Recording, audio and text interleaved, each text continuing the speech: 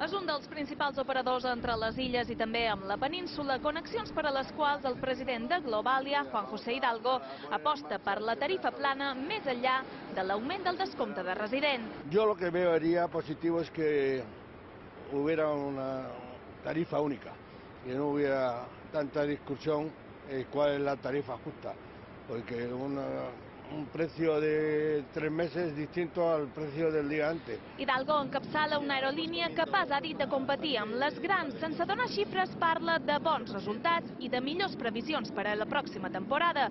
I davant de qualsevol dubte, la seva no és una companyia en venda. Juan José Hidalgo no va a Y el 52% no se va a vender.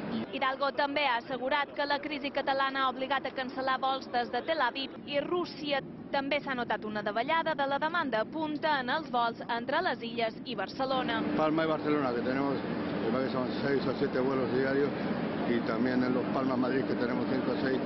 En esas dos líneas sí se ha notado una bajada de clientes. Unes declaracions que ha fet durant l'acte de presentació d'aquest avió, el Boeing 787-9, que du el seu nom. Aquest ha estat el vol inaugural d'aquest avió, un trajecte que s'ha fet entre Madrid i Palma. A partir del mes de març volarà fins a l'Argentina, a Buenos Aires. És, ens diuen des d'Europa, l'avió més modern del món. És capaç de reduir un 20% el consum de combustible i les emissions i fins a un 60% la contaminació acústica.